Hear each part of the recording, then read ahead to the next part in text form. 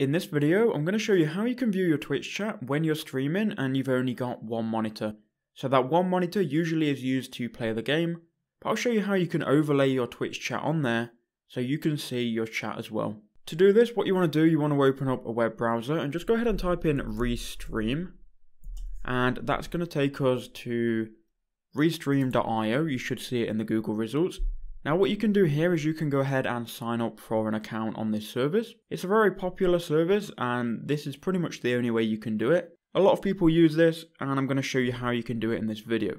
So first go ahead and sign up if you haven't got an account.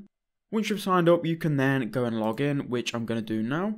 So now we're on the main Restream page and now what we need to do we need to go ahead and add our Twitch channel. So to do that you can click on add channel or if you see Twitch down here, you can just go ahead and click on it. And you can then connect your Twitch channel. So it's going to redirect you to this window where you can just connect your current Twitch channel that you're logged in with to Restream. So just go ahead and authorize this. And once we've done that, we should be pretty much good to go. I'm just going to keep these as the default settings here. We'll just add a description. So now we've got our Twitch channel connected. Now what we need to do, we need to go to the three dots in the left hand corner here, and then go to the chat app, and that's going to allow us to view our chat. Now if we want to view our chat while we're playing a game, we're going to need to download the Windows application. You can see your chat in browser, but you can't overlay it. So go ahead and download your chat for Windows. And then once you've got it downloaded here, you can just simply go and install it. It's a very simple installation wizard and it should take around 30 seconds to install. Once Restream has downloaded and installed to your computer, uh, you can then go ahead and log in. So I'm just going to log in now and then I'll be back. Okay, so here we are inside of the Restream chat app. Now, this app here is essentially just a chat box, which you can resize and put anywhere on your screen. Now, there are some settings that you need to change, which we'll get into in a second.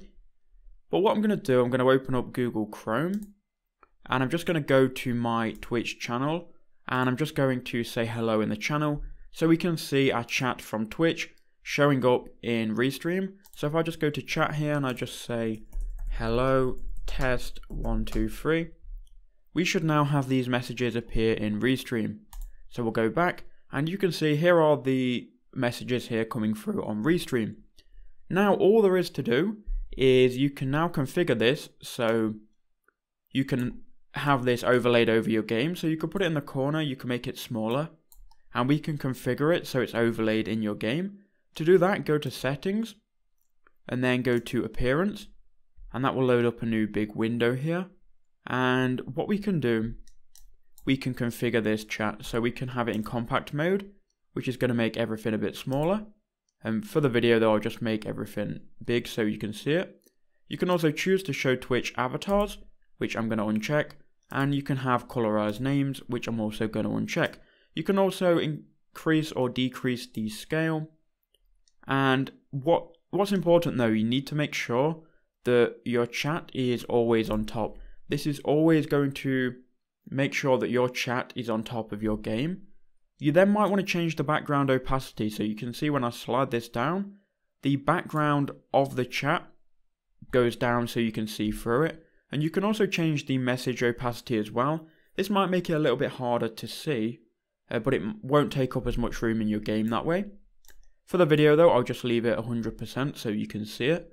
And once you've done those two things, and you've checked always on top, your chat here is always going to stay on top of any window. So if I open up Google Chrome, you can see my chat stayed up on top and this works as well with games. So here you can see that I'm inside Minecraft and I can play Minecraft now and I've still got the chat here and then whenever someone types a message um, it's going to show here and obviously I'll make that smaller if I'm streaming for, for real because that takes up too much space. But guys that's how you can do it, I hope that video helped you out, please do make sure you leave a like and comment down below if it did.